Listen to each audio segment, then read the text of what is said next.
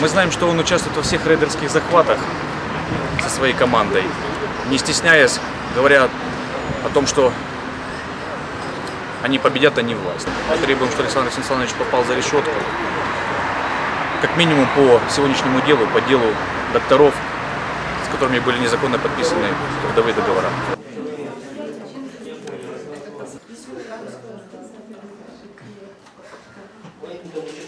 Прошлое судебное заседание он не явился.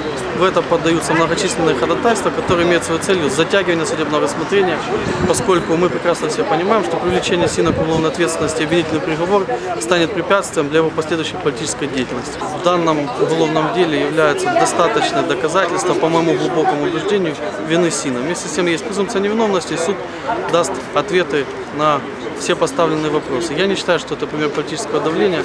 Я считаю, что поскольку только одно дело дошло в суд, а ему существует десятки уголовных дел в отношении мэра, десятки миллионов причиненного ущерба, то наоборот прокуратура в данном случае допускает непозволительное промедление в расследовании остальных уголовных дел.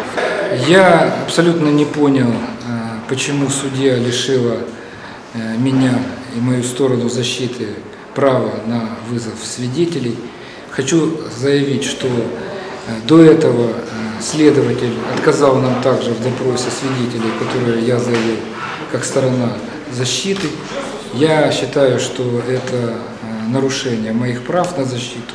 Помимо обвинения уже появилась новая сторона обвинения в лице защитников потерпевшего, которая требует и отстранить меня от должности, и подвергнут домашнему аресту и заявляют иск о возмещении морального ущерба. Кстати, иск 1 миллион гривен. Причем я не понимаю, в чем суть этого морального ущерба, потому что если бы я на тот момент, когда мне предложили контракт на подпись, который не соответствовал закону, просто его расторгнул, он бы сегодня уже был бы безработным.